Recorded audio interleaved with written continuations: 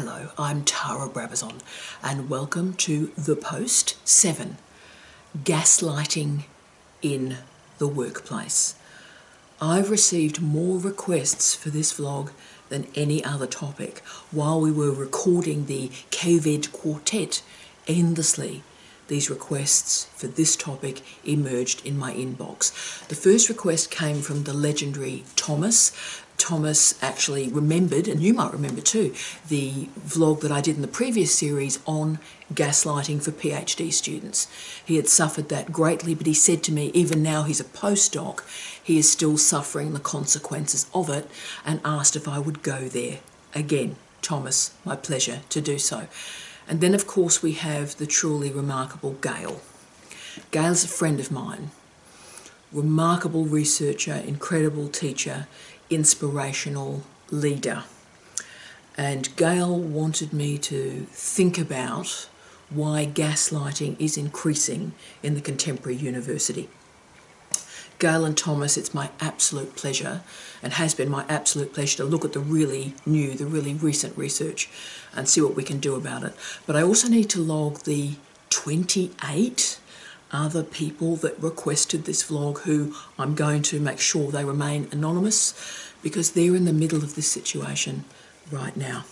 So I've read widely on the literature, particularly with regard to organisational culture, and I also wanted to acknowledge the commentary from a wonderful, I've got a stray here, there we go, uh, acknowledge the commentary from a wonderful friend and colleague of mine, the legendary Adrian Martin. I've known Adrian, Adrian how long? 25 years, 28 years, and Adrian, as always, offered a very strong critique of what I was reading at the time. Adrian argued that the literature that I was investigating for this particular video, this particular vlog, was too focused on narcissists. And he argued that we need to be thinking about gaslighting in a different way beyond this sort of pretty poor pathology of narcissism. And Adrian, you are absolutely right and you remain absolutely brilliant. So, in response to these remarkable requests and Adrian's critique, I'm going to offer two vlogs, two on gaslighting.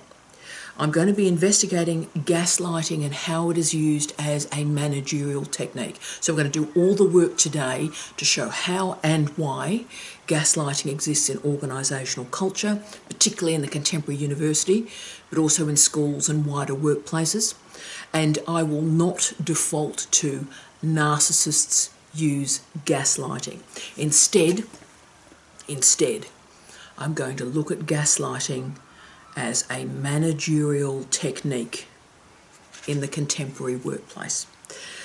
And I'm going to look at how and why it is normalised and naturalised in our daily working lives.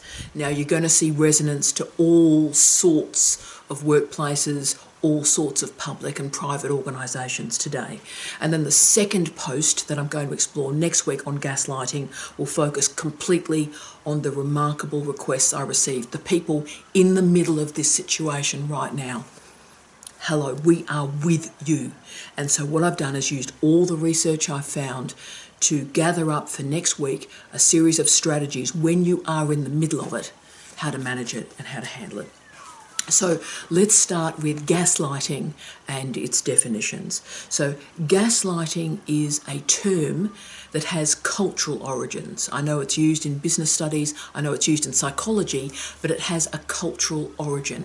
It comes from a play written by Patrick Hamilton in 1938, and the play was titled Gas Light two separate words. And then it became a famous film. There was a film made in the United Kingdom and released in 1940, but then the famous George Cukor film was released in 1944. And this film featured Ingrid Bergman and Charles Boyer. His character, Gregory, met the beautiful opera singer Paula, and they have a whirlwind romance, and they marry.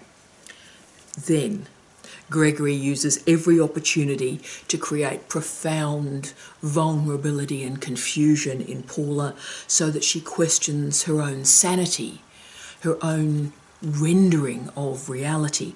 With Paula in this weakened state, Gregory's rather violent past and present can be hidden. Okay, so from this film, we have a technique, we have a strategy that's called gaslighting. Now, I'm going to talk about the most common techniques that we see in gaslighting.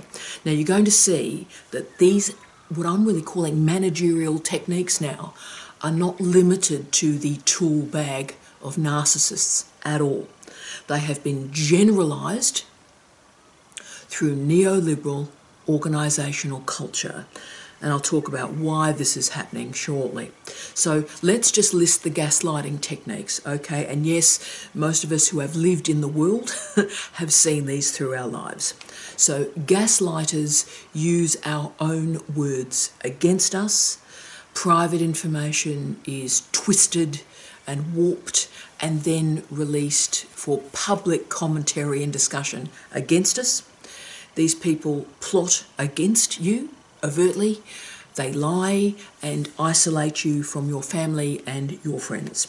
They deny your requirements, they deny your needs to make sure that the focus remains exclusively on themselves. The optics are always on them. So they rely on excessive displays of power and they construct alternative facts in other words, lies, and then try and convince people to subscribe to their alternative facts, or indeed, lies. So, what gaslighting does, its point, is to disorient a person, to place doubt in a person's mind, often using the most trivial of incidents. So, for workers in the contemporary workplace, this is a toxic an incredibly frightening combination. Through these techniques, through these tactics, human beings are delegitimized. Human beings are shamed. So, the goal of gaslighting as a managerial technique is to make us suffer, to consolidate and increase the power of the powerful and increase your dependence on them. So while the visual representation of gaslighters is on men, that's absolutely not the case. Men and women use gaslighting and it's not a gendered formation. Having said that, I've also tried to find the research on trans and non binary identifying workers and managers. That research in gaslighting is not really present, but I have a Google Scholar alert up, so the moment that research appears, we'll revisit this issue. So, we have a pretty strong understanding now of gaslighting as a series of techniques, what it is, and how it is actioned. And I'm sure every single one of you have seen different techniques like that used in your life. So these techniques are used to reinforce power when power is threatened. So I want to talk about why they're particularly being used now. But before I do, I did want to tell a personal story. I wanted to explain what gaslighting actually looks like in a workplace and particularly in a university.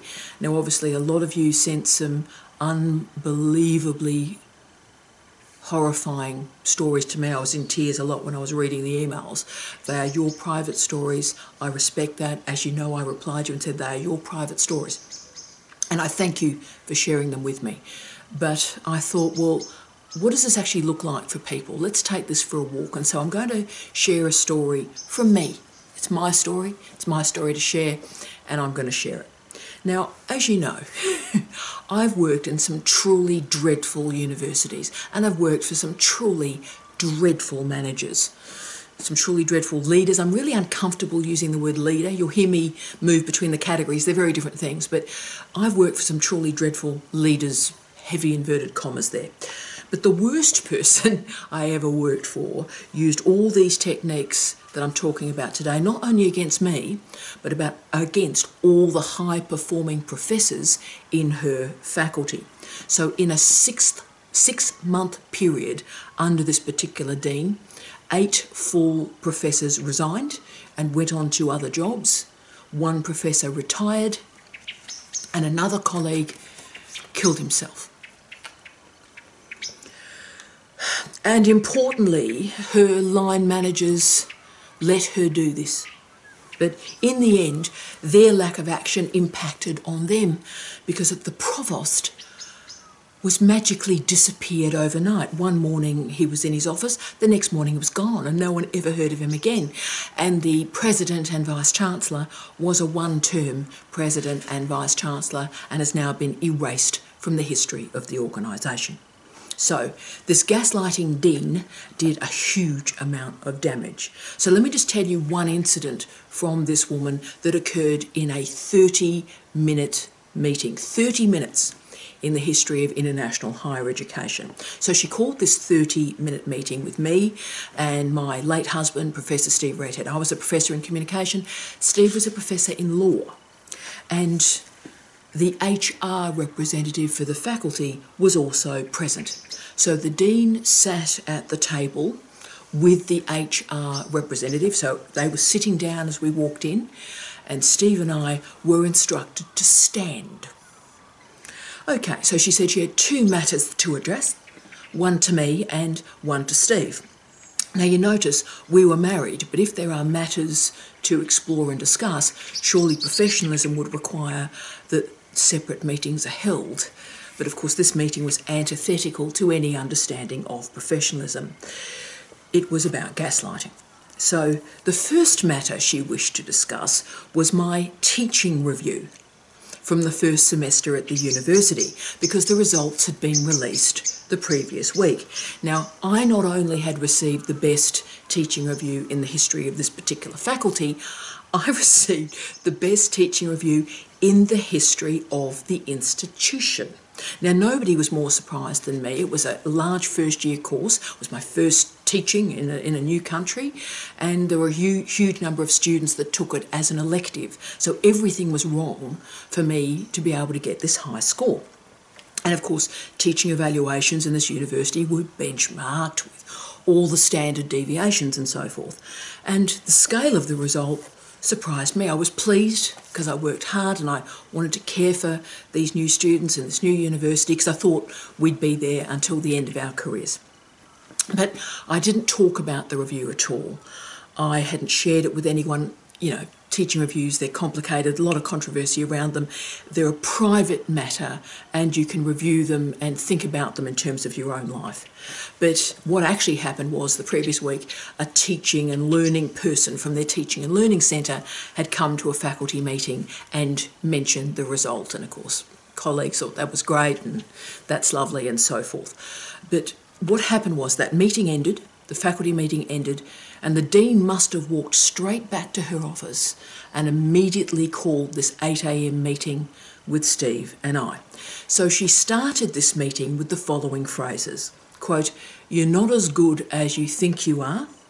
We've all received teaching evaluations like this. This result is not unusual. I'm a great teacher. I know great teachers, and you're not one of them. Bless. Okay, so this went on. And I was silent for a moment, going, oh, this is a bit unusual. And then, of course, unfortunately, the Brabazon laugh came out, and I guffawed. I thought it was funny as. And I obviously confirmed, look, you haven't received this result by your own benchmarking. I'm 15% over the highest score that anyone else in the faculty has achieved. And obviously, nobody, including you, in the university has received this result because it's the highest in the history of the institution. So, of course, I pointed to the institutional benchmarking and so forth, and she just lost it. She started to shout, love a good shouter. Yeah, love a good shouter. And she also did that pointing, you know, the you know, the woodpecker point. Like, you know, they actually like poke your eye out. But anyway, so she started to shout and point and stuff, and she finished her diatribe with the phrase, quote, you are nothing. Always remember that. You are nothing. Always remember that. Now, I'm putting that on a t shirt, tremendous. But what I want you to remember from this story is the HR representative was sitting next to her through the entire process, did not take notes, did not look up, did not intervene. Now, you may think this is bad. I'm the warm up act for what's about to happen to Steve. Now, Steve's father, Jeff Redhead, had died the previous week, summoning Jeff on this cold morning. Miss you, Jeff. So Jeff had died the previous week, and Steve continued to teach. He was amazing, continued to do his lectures and supervise his students, but obviously he was sad, and sad's the right word. Not despairing, but just desperately sad. And he kept everything very private to himself. He was a very private guy. Those of you that know him, he was a private guy. But he was very aware that anything, any emotion that he emitted, this dean would use. So he shut down. And this dean, after she'd finished with me, um, then turned to Steve and said, I note your father has died. I wanted to see you in person and state I will not be approving your leave to attend the funeral. We've all got personal problems, and I note you haven't asked me about my father. End of quote. Now, again, all the techniques of gaslighting are right there. Refusing the right of Steve to go to his own father's funeral. And what's interesting is he hadn't applied, hadn't applied to go to that funeral, to apply for leave. He hadn't asked. But you notice how a loss of that scale was minimised with the phrase, we've all got personal problems. And then returning the spotlight back to her with anger. You haven't even asked me about my father. Now, can I say this is the first time we'd heard about her father since we arrived at the institution. Never been mentioned, never been talked about. He was in good health. I think the guy's still alive. Right. Okay, so this is one example from 30 minutes of the history of international higher education. So, yes, you'll notice she was a dreadful human, dreadful academic, dreadful leader, dreadful. But I want you to remember the institutional support for this dreadful behaviour by the HR person. They were present and they didn't intervene in the abuse. So these examples are common. I'm sure you have tons of examples where this exactly has happened to you. And these stories matter and we should tell them because it generalises the pain and we understand that we're not alone.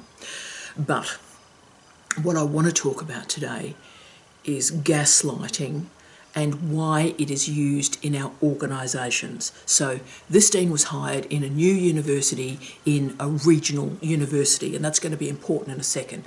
She had no leadership qualifications at all, and she'd had a really mediocre teaching and research career, and mediocre is being generous.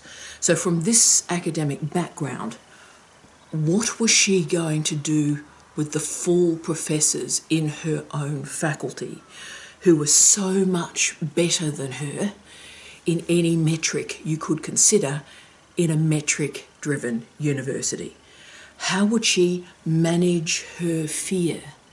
Her fear of being found out for being mediocre or substandard? How would she manage her fear of being found out when international scrutiny came upon her?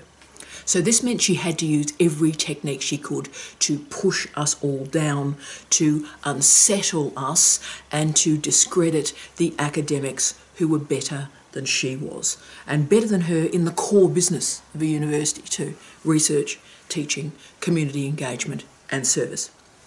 So, toxicity uses many strategies, whether it be fear, whether it be bullying, whether it be gaslighting, and of course, the workplace place tactics we're seeing a lot at the moment. So, redundancy, casualised workforces, endless restructures. The goal is to ensure that staff are frightened and they're complicit. And they're also complicit in the marginalisation of others. So people stand by and watch other people confront gaslighting. So, gaslighting is a powerful technique in a toxic environment. It is a proxy for mediocre and substandard managers who attempt to discredit the staff that are better than they are. But somehow, through patronage or leverage or whatever, these people have managed to get themselves into a position of power. But once the incompetent are in positions of power, what do they do? Well, they hire other incompetent people so that, again, they're not found out, and then they've got this powerful group that can activate gaslighting techniques. And of course, particularly as academics, we're assessed continually. Our academic achievements have never been more visible than they are right now through digitisation. And we have a proliferation of metrics. So, how many books have you written? How many articles have you written? How many articles have you written where you're the sole author, the first author, the last author? Teaching reviews, accreditation panels, keynotes, funding. Then, of course, there are the social media metrics. How many followers do you have? And most importantly, how do they engage with you? Do they respond with abuse and ridicule? Or do they respond with decency and respect towards you? Most importantly, whenever you offer a post or anything, is there just silence? That's always my favourite one. So, in the old days, the analogue days, 20 years ago, incompetent managers, incompetent leaders could hide. They could actually hide away, uh, they could cruise a bit because their behaviour wouldn't be that visible, at least for a while. But now, with Google Scholar and LinkedIn and Twitter, we can see exactly who this person is. We can see their research or lack thereof, and we can see their teaching excellence or lack thereof. So, in two minutes, we can determine how few publications they have, how few citations they have, and we can see if they've been the freeloading postdoc through their entire career. So, they're author three of six, author five of ten.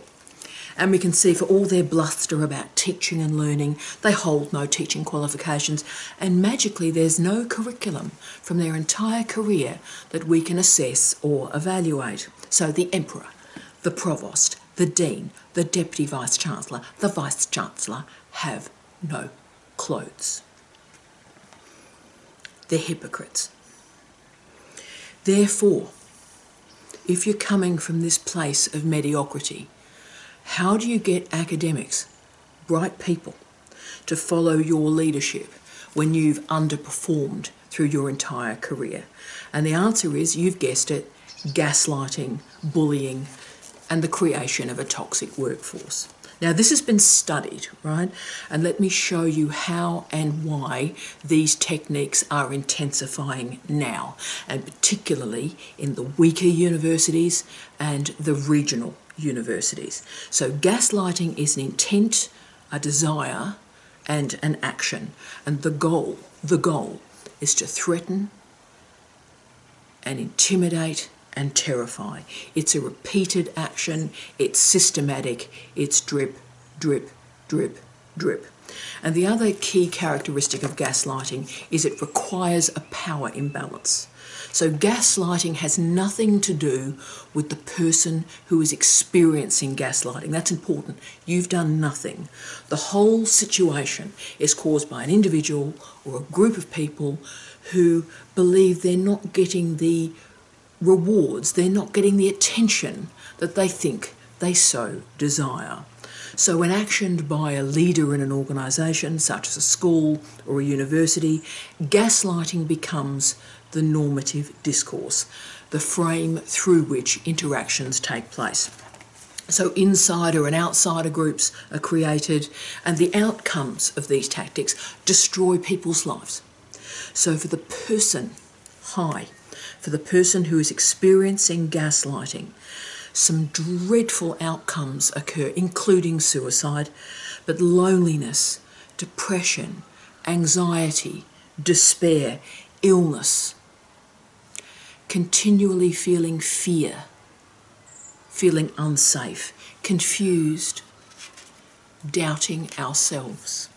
So, gaslighting in the workplace is often invisible as HR departments can't or won't deal with it, or in my case, as you saw, HR departments were actually part of the gaslighting. It is enacted by people in power, and we live in an age where power in our workplaces is aggressive, nasty, and brutalising.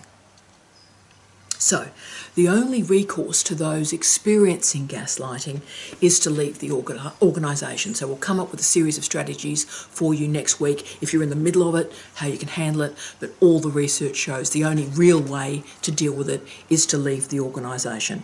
And the problem is, of course, because people endlessly leave the organisation, the problem becomes invisible. The only way in an organisation like a university to see if gaslighting is taking place is to look at the staff turnover. It's an inelegant proxy, but it is a proxy. So staff member after staff member after staff member have their lives ruined and they leave. So let's look at why gaslighting exists in universities right now and why it is being used as a managerial technique. And of course, I go right back to our post one and remind you about the legendary Stanley Aronowitz and his The Knowledge Factory once more. Remember, Aronowitz confirmed that there are three pathways in our universities research, teaching, and administration. Aronowitz argued that the staff members that failed in research and teaching entered the third pathway, administration. So that is, they became managers. Now, it's a funny and it's a fabulous argument, and it has a lot of truth to it. So, this means that the poor teachers, the mediocre researchers, move to become an academic manager and then they rule over people who have succeeded in the areas in which they have failed. Now, Aronowitz made that argument in the year 2000. Think about everything that's happened in the last 22 years. We have the increased visibility of metrics, research outputs, teaching and learning evaluations, and of course, the rise of social media. So the underperformers and the hypocrites become very, very visible very quickly. So a university hires a poor manager, a poor leader, through a system or a process that may not be terribly accountable. And so once in a position of power, if we have one of these mediocre underperformers as our line manager, our lives are absolute hell. So these gaslighting activities were and are not unusual. There are tens of thousands of academics, high degree students, and students more generally that are suffering this. There are thousands of universities around the world that use this as their management plan. So, gaslighting is the poor manager's means of control, and it's intensified in particular universities and organisations. So, a study by Timothy Charles Skinner in 2015 showed that gaslighting and bullying in regional universities was even worse than in metropolitan universities.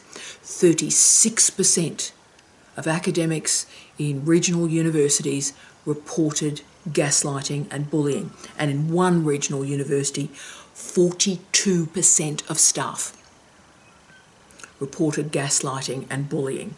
And when they were asked in this survey about how this behaviour manifested, the staff responded with public humiliation, exclusion, intimidation, and discrimination. And it gets worse. You've heard me talk a lot about nepotism about mates getting other mates' jobs, about the internal appointments without processes or pretending that there's a process. Jobs for the boys, jobs for the girls. Now, I've seen this a lot, and I've seen it a lot in regional universities and around the world. But what this study from Skinner showed, and you need to hang on to yourself, is the people who achieved jobs in regional Australian universities fair and square, so through a competitive process. Not nepotism, not an internal process, not mates hiring mates. The people who actually got the job for real with accountability, they suffered bullying and gaslighting more than other staff. So, in my experience of regional universities around the world, and obviously I've been a very senior staff member in regional universities, I research regional universities. This is absolutely accurate.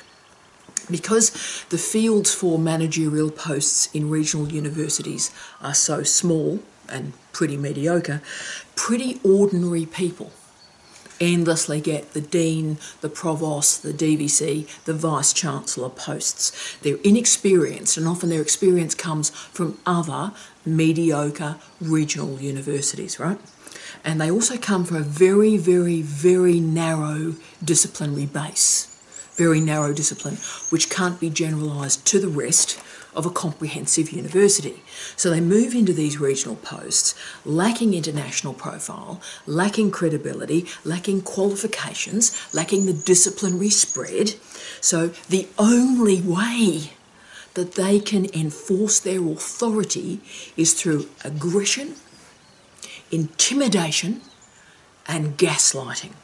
Universities are now institutions of the precariat. Fear, instability, endless restructures. But these emotional tendencies and tactics and strategies are activated by a failure of leadership. And this is the final theory I wanted to introduce to you in the post this week. And this is for you, Gail, to explain why gaslighting is occurring and particularly, Gail, why it is intensifying right now. Now, I'm using Jean Baudrillard's theory of the double refusal. This phrase refers to the refusal of leaders to lead and the refusal of workers or citizens or people to follow their leadership. The double refusal refusal of the leader to lead, refusal of the followers to follow their leadership. Now, Baudrillard revealed this work in his astonishing posthumous work, particularly the book The Agony of Power. What a title! The Agony of Power. He states, quote, intelligence cannot and never will be able to be in power. End of quote. So leadership is so weak at the moment. It holds no credibility or authority or agency. So all sorts of bizarre techniques like gaslighting have to be used to maintain power because the leaders are just so poor. Academics are looking at their career with a combination of horror and amusement. We're laughing at the lack of achievement in their career and therefore enact the double refusal the refusal to be led by people lacking academic credibility.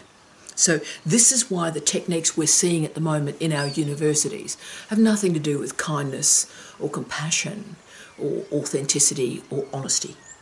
The leader cannot lead, is frightened of being found out, and therefore focuses all the attention on the supposed weakness of the academics to deflect attention from their own record, their own career. As Zizek confirmed, quote, power itself is an embarrassment, and there's no one to assume it fully, end of quote. The double refusal, therefore, provides a powerful framework to understand the irrationality, the cruelty of gaslighting, the shameful behaviour of the gaslighter. It remains a technique of the impotent and the mediocre. But the staggering selfishness is also worth noting. The leadership in so many of our universities around the world showed themselves unable to manage through the pandemic and the chaos we have now is the result of that. Leaders didn't lead, and followers, recognising the incompetence of their leaders, simply stopped listening. The result of this double refusal is chaos, restructures, but also, even more worrying, a complete loss of faith or belief in what a university is and what a university can be. So, there's our discussion of gaslighting. It's a technique used by the mediocre and the incompetent to mask their mediocrity and incompetence. It is a strategy for the powerful to hide, to deflect, to displace, to, to confuse, but also to shame. Next week, most importantly for all of you in the middle of the situation, we're going to provide strategies to help you get out of it to enable you to survive, but to also give you an accurate mirror so you can interpret your circumstances, your contexts, and recognize that all of this behavior is geared to hurt you, to disrespect you, and disconnect you from the reality of your life. I wish you love, light, and peace. Tea out.